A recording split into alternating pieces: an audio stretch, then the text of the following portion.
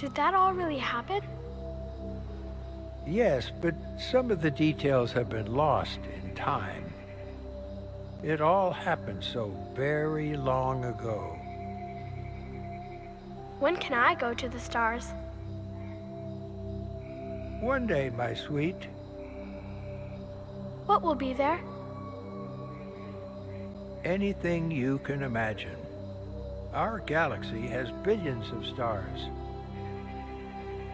Each of those stars could have many worlds. Every world could be home to a different form of life. And every life is a special story of its own. Tell me another story about the Shepard.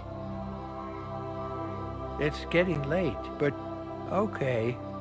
One more story.